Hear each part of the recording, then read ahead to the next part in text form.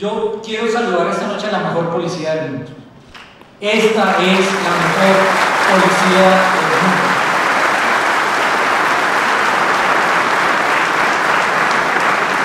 Y me siento muy orgulloso de nuestra institución y yo quiero compartirles algo que me nace del corazón. El 28 de abril, cuando iniciaron en muchos rincones de Colombia las manifestaciones públicas, muchas de ellas que siempre fueron acompañadas por nuestra policía. 15.500 actividades de manifestación pacífica pasaron del 28 de abril al 1 de julio. 15.500, todas acompañadas por nuestra Policía Nacional, con respeto, con garantía de una protesta cuando es pacífica. Pero en 1.500 oportunidades hubo violencia, vandalismo, destrucción que afectó la vida, la honra, la tranquilidad de todos los colombianos. Y fue en esas oportunidades donde, como corresponde, actuó nuestra Policía Nacional para restaurar el orden y para restaurar la tranquilidad para todos los colombianos.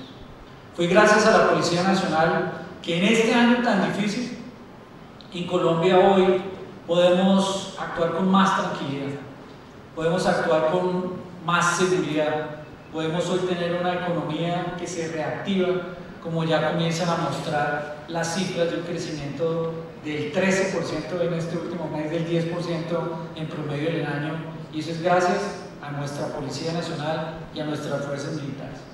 Y fueron momentos muy difíciles. Y hoy se reconocen la labor de todos aquellos que hoy reciben esta premio de excelencia yo quiero decirle que yo tuve cuatro experiencias este año que me marcaron profundamente en el año. En un momento estábamos en el puesto de mando unificado, estaba el general Hoover, estaba el general Libreros, estaba el general Rodríguez, estaban los miembros de la cúpula militar, el general Navarro, comandante del ejército.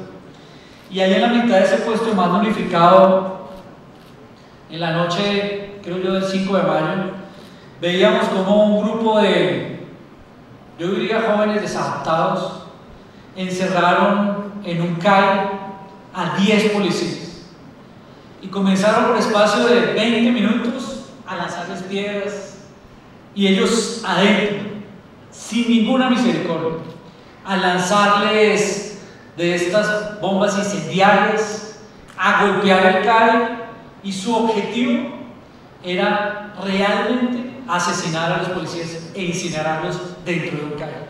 En ese momento, en ese puesto mando unificado, uno veía las cámaras de todo Colombia, de todo Colombia.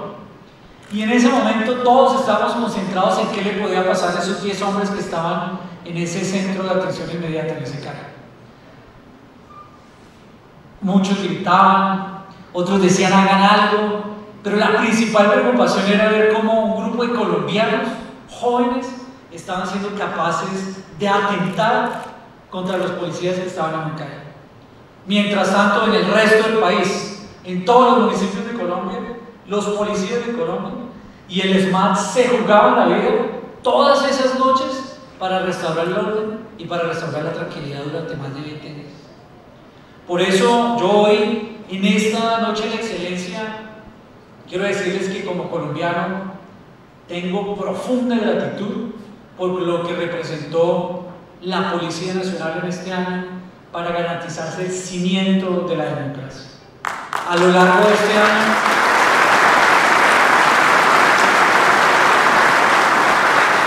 vimos un ataque sistemático a las instituciones. En Cali vimos la destrucción el primer día de la alcaldía, de la gobernación, de la dirección de impuestos, de la procuraduría.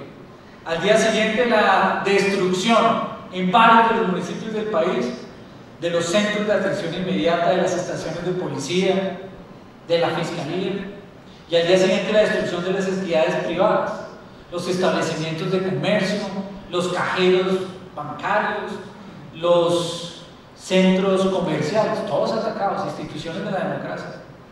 Y al día siguiente la destrucción de los sistemas de transporte público. 60% de las estaciones de Transmilenio en Bogotá destruidas, inhabilitado totalmente durante más de 20 días el MINO, que es el sistema de transporte que mueve a los caleños. Eso es como si hubiera un atentado terrorista en el metro de, de Nueva York.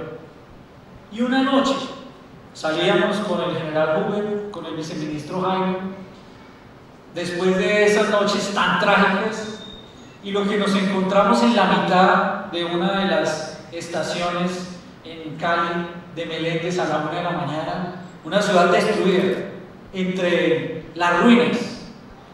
Y ahí estaba el ESMAD, los policías del cuadrante y los soldados de nuestro ejército nacional recogiendo las piedras y los vidrios del destrozo, mientras que los caleños podían tratar de recuperar la tranquilidad del resto de la noche. Eso fue lo que vivieron nuestros policías y nuestros soldados a lo largo de este año. Por eso es tan importante hoy estar acá para reconocer lo que significa la Policía Nacional como cimiento de la democracia. Porque hoy reconocemos una nación que al final no cayó en esos bloqueos que buscaban coartar la libertad de movilidad, el abastecimiento de alimentos, la imposibilidad de llegar con salud. Y eso se hizo gracias a nuestra policía y por supuesto el trabajo con nuestro ejército nacional y con las Fuerzas Armadas. Porque Colombia prevaleció la lógica y la justicia. Mientras que hace seis meses los de la primera línea parecían héroes para Colombia, hoy son unos vándalos, 200 de ellos están capturados y están siendo judicializados gracias al trabajo de la policía.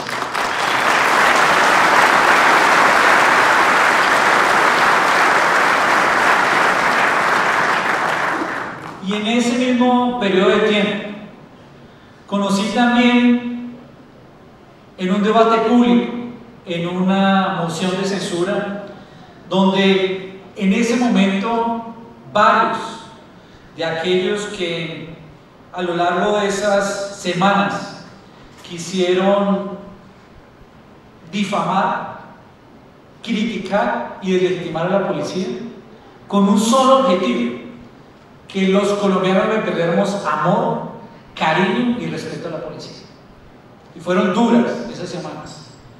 Y todos los días una noticia falsa, una noticia que buscaba afectar la integridad de los policías. Y yo vi cómo se afecta la moral de las familias, de las mamás, de los papás, de las esposas de nuestros policías.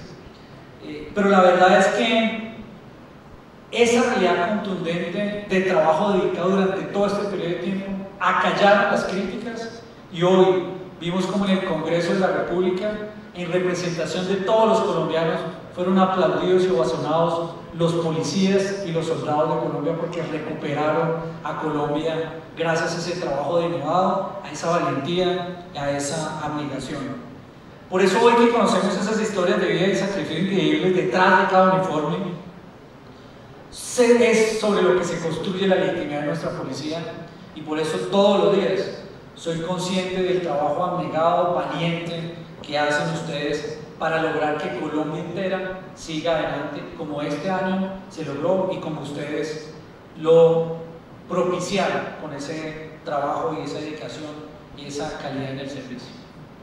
Quiero, para finalizar, decirles que, por supuesto, aquí son reconocidos un grupo de colombianos muy talentosos, de excelencia, pero representan a 130 mil colombianos, hombres y mujeres de policía que también todos los días se levantan de sus hogares, se despiden de sus familias y como han hecho un juramento siempre inclusive llegar a sacrificar su propia vida por el resto de los colombianos, de salen siempre, como me decía una de las madres de alguna de las patrulleras en Cali, siempre se queda con el corazón en la mano cada vez que salía su hijo a patrullar y a lograr liberar a Cali y ese suroccidente de ese azote de violencia que tenía.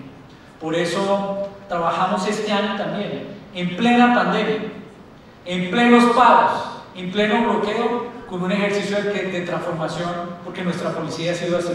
Es una policía de 130 años de historia que siempre a voluntad propia ha buscado la excelencia. Y por eso esos proyectos de ley que mencionaba el ministro Palacios tienen tres propósitos.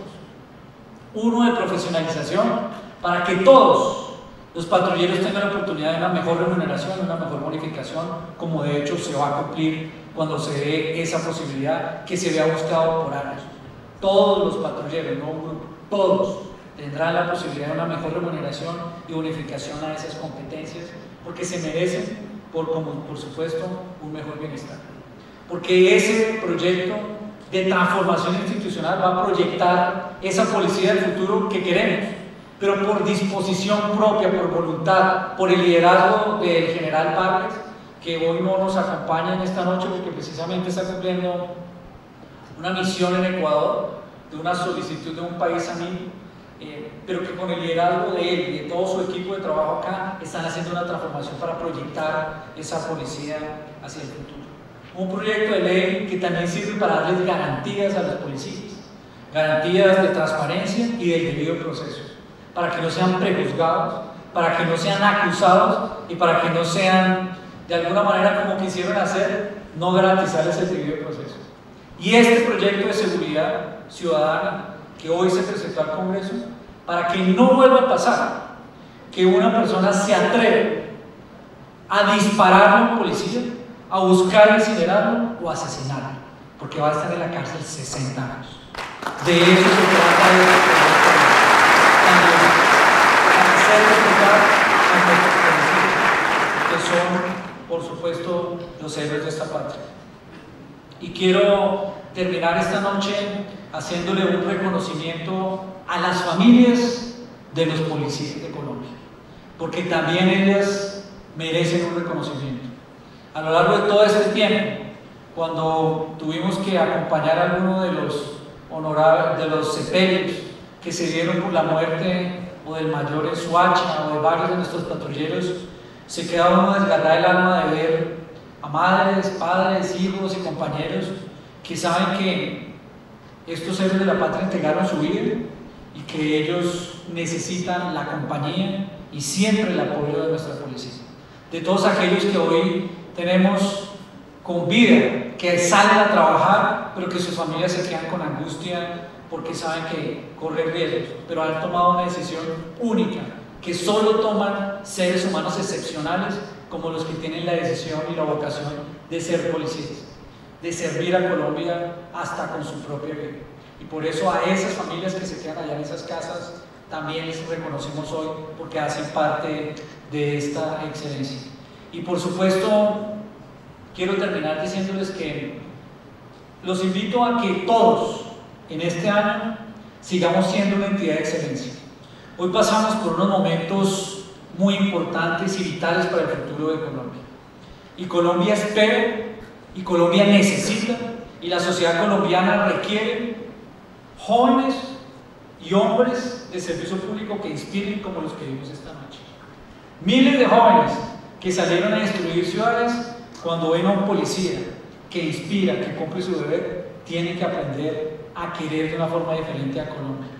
Cuando miles de jóvenes que están buscando una carrera, que están buscando contribuir, ven el trabajo articulado de modo de excelencia que tiene nuestra policía es fundamental. Por eso quiero invitarlos esta noche a ustedes y a todos los hombres y mujeres de policía a que seamos servidores públicos de excelencia. Colombia espera, los colombianos necesitan que nuestra policía siga en esta ruta de tener los mejores servidores públicos. Lo mejor que le puede pasar a una sociedad, a una democracia, a los ciudadanos, es que la policía y sus policías sean de excelencia, porque eso da legitimidad, eso garantiza la democracia, eso permite ver que el servicio público vale la pena, pero sobre todo que se conviertan ustedes en una institución fundamental para el futuro de esta nación. Por eso como ministro de Defensa, que esta noche de la excelencia policial reconozca el trabajo que ya ha tenido a estos campeones, a estos ganadores, pero también nos invite a todos a que seamos servidores públicos y policías de excelencia en Colombia. Muchas gracias.